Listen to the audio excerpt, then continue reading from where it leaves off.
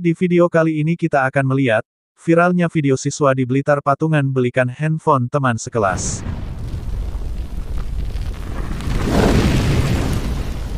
Sebuah video yang diunggah oleh akun TikTok @husnaisyah viral di media sosial.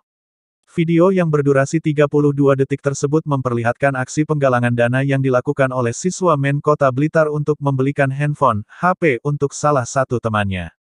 Diketahui aksi tersebut dilakukan oleh sejumlah siswa dari kelas 12 IPA 3, Madrasah Aliyah Negeri Kota Blitar. Sebelum mengumpulkan dana untuk membeli handphone, para siswa tersebut membuat sebuah grup khusus di WhatsApp. Grup tersebut diberikan nama grup diskusi 98%. Di awal grup tersebut terlihat salah satu siswa yang menamakan diri Nipeng menjelaskan tujuan dibuatnya grup diskusi itu. Nipeng menuliskan, Halo guys tujuan dibuatnya grup ini adalah untuk omong-omongan, sebelum mulai diskusi semua rencana sing akan kita bahas iki urung fix ya, tidak ada unsur paksaan makane butuh pendapat kalian.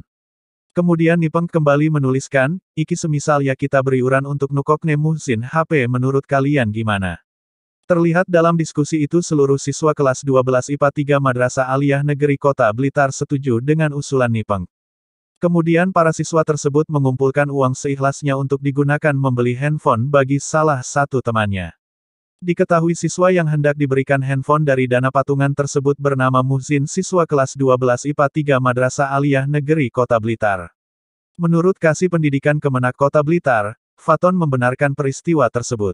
Menurutnya hal itu merupakan bentuk solidaritas yang dilakukan oleh para siswa terhadap salah satu rekannya yang memiliki keterbatasan ekonomi. Iya memang benar itu teman-teman atau anak-anak yang ada di sekolah memberikan donasi uang kemudian dibelikan HP untuk salah satu siswa yang kebetulan secara ekonomi memang kurang, kata Faton. Fatan sendiri tidak mengetahui secara detail mengenai aksi solidaritas tersebut namun dirinya sudah mendapatkan konfirmasi dari pihak sekolah bahwa hal itu memang benar dilakukan oleh para siswa di kelas 12 IPA 3 Men Kota Blitar. Meski tidak dalam video tersebut tidak dijelaskan ada berapa dana yang terkumpul dari patungan siswa. Namun yang jelas uang dari kumpulan bersama itu mampu untuk membelikan handphone Realme 33C. HP tersebut kemudian oleh para siswa kelas 12 IPA 3 Men Kota Blitar bersama sang guru langsung diberikan kepada Muhsin. Suasana kelas pun sekejap menjadi haru. Para siswa yang berpatungan dan ikut memberikan HP baru ke Muhsin tidak kuat menahan air mata. Para siswi terlihat menangis bahagia melihat Muhsin memiliki HP baru. Sementara itu, Muhsin yang diberikan handphone baru oleh para teman-temannya terlihat bahagia.